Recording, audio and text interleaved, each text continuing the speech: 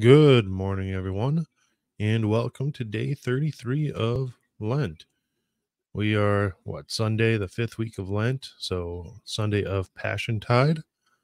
And I slept in a little, little late this morning, and we're doing this actually live. So you'll have to excuse me uh, all the times I screw up reading or mis- mispronounce a word or something. I will not be able to edit out of this. So we'll have to just live through it together, I guess.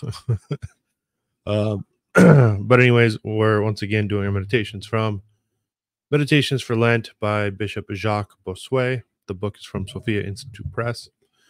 These go out on video on YouTube and Spiritus TV and on all, all the different audio podcast apps. And I'm going to throw up an image on screen. There won't be anything to watch, uh, anything to look at. You just you just listen and meditate on what is being said. Uh, man, I can't even pause. I usually pause the recording between some of this stuff. But, anyways, I'm going to throw up the image and we're going to get started. Okay. So, like I said, day 33, Sunday, Sunday of Passiontide, the fifth week of Lent, the raising of Lazarus. Jesus nears Jerusalem. He is already at Bethany, a village at the foot of the Mount of Olives. His death nears. What he does to prepare for us, what he does to prepare us for it is miraculous. He raises Lazarus from the dead. Jesus was going up to Jerusalem to die. It would seem that death's empire was stronger than ever once he had fallen under its power. But he works the greatest miracle, the great miracle of the raising of Lazarus to show us that he is death's master. All of the terror of death is here before us. Lazarus is dead, enshrouded, entombed, and already decaying and putrid. They fear to move the stone covering his tomb, lest they infect the place and loose its unbearable stench. Here is a horrid spectacle. Jesus shudders to see the tomb, and he weeps. In the death of his friend Lazarus, he deplores the punishment shared by all men he looks upon human nature as created for immortality, but condemned to death by sin. He is the friend of all mankind, and he comes to restore us. He commences by shedding a tear for our disaster, and shuddering at the sight of the punishment that he himself will soon face for us. To him, what seems so awful about death is chiefly that it is caused by sin. It is sin, rather than death, that moves him to shudder to be troubled in spirit, and to weep. he is all the more greatly moved as he draws near as he draws near the tomb, this frightful cavern where the dead man has been laid. What can be done? Could not he who opened the eyes of the blind man have kept this man from dying? John 11:37. They did not ask whether he could raise him because they could not imagine it to be possible. They thought that all Jesus could offer in the presence of this evil were his tears and sorrow. Here is all mankind in death. Nothing is to be done except to lament its fate. No other resources at hand. So the story begin. So does the story begin. The opening scene is one of desolation. Yet the second is all consolation where we see the power and victory of Jesus over death. Jesus says, This illness is not unto death, it is for the glory of God. John 11 4. Yet Lazarus did in fact die. What the Savior meant is that death would be here vanquished, and the Son of God glorified in the victory. He continued, Lazarus has fallen asleep but I go to awaken him out of sleep. John 11:11 Calling his death a falling asleep and showing that it is easy for him to raise the dead as to awaken a sleeper a sleeper. As he approaches he is progressively revealed to be the victor over death. If you had been here martha says my brother would not have died. And even now i know that whatever you ask from god god will give you. John 11 21 through 22. You are all powerful, not only to prevent death, but also to wrest its prey from its grasp. Your brother will rise again, I know that he will, says Martha, on the last day. John 11, 23 through 24. She does not doubt that Jesus can resurrect him before then, but she does not think herself worthy of that grace. Let us savor the words of Jesus to Martha, after which death has no sting. I am the resurrection and the life. He who believes in me, though he die, yet shall he live, and whoever lives and believes in me shall never die.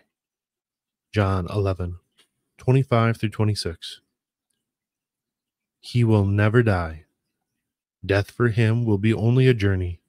He will not remain there, and he will arrive at a condition in which he will never die. Martha's faith is great. In her spirit, she sees the general resurrection and confesses Jesus Christ as the one who, being in heaven and in the Father's bosom, is come into the world. Jesus, Son of the living God, lives with, with the same life as his Father. As the Father has life in himself, he says, so he has granted the Son also to have life in himself. John 5 26. It is with good reason, then, that he tells us that he is the resurrection and the life. And as the Father raises the dead and gives them life, so also the Son gives life to whom he will. John 5 21. He is the source of life. He is the same life as the Father. Life came to us when he became man. We proclaim to you, says St. John, the eternal life which was which was with the Father and it was made manifest to us. 1 John 1 verse 2. Father, I know that thou hearest me always. John 11:42. Thus we are delivered, for such an intercessor speaks on our behalf. Lazarus, come out. The prophets had raised several men from the dead, but none of them had treated death in such an imperious manner. It was, as the Savior said, the hour when the dead will hear the voice of the Son of God, and those who hear will live. John 5 25. What is done now for Lazarus alone, one day will be done for all men. It is important that we meditate upon these words and deeds so that we may be strengthened against the fear of death which is so extreme in us that it is capable of making men lose their minds. We must arm ourselves against this fear, chiefly by meditating upon the promises of the gospel and attaching ourselves with a living faith to the, the truth that Jesus had vanquished death. He did so in the case of a young girl still in her bed, a widow's son being carried on a bier, and in the person of Lazarus. These three to whom he restored life remained mortal. What was left for him to do was to vanquish mortality itself. It was in his own person that he would win so perfect a victory. After he had been he had been put to death, he rose, never to die again. And without having first seen corruption, as the psalmist sings, Thou wilt not let thy Holy One see corruption. Psalm 15:10 what was done in the head will be accomplished in the members. Immortality has been assured to us by Jesus Christ. Okay, there is our meditation for today.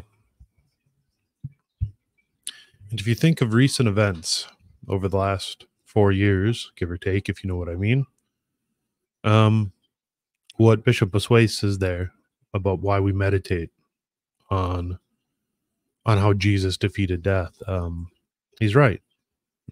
The fear of death makes people lose their minds. Think of think of the last four years. Think of the things we've seen and the the think of the things people have gone through to avoid getting a severe cold or a flu, right? Uh, the masking. I mean, you and you see it online, especially. Um, people still masking, uh, people um, disinheriting family members, you know, because they decided that four years later now not to mask. I mean, people are so afraid of death, so afraid that it can make people do the most idiotic and on one hand and also just the most horrendously tyrannical terrible things on the other all all because they're afraid of what comes to all of us so we we as catholics we have to we have to meditate upon it. We we need to you know that's why memento mori is so important. Um you know remember death. Um because it comes to all of us one time or another we can't stop it. Uh, so we just have to be prepared for it. Uh, pray to saint joseph the patron of a good death. And here comes one of my children. Which one is it going to be? It's ignatius everyone good old iggy. You want to say hi? Say hi. Hi. say happy sunday. Yeah. Okay. Um, okay well that's it for today everyone. And as you can see uh, i did not have enough purple cloth to well i didn't have any purple cloth actually to cover all the holy images in my house which is what we do during passion tide but anyways thank you all so much. I really appreciate it and uh, yes iggy hold on. I really appreciate it and i will see you all again tomorrow morning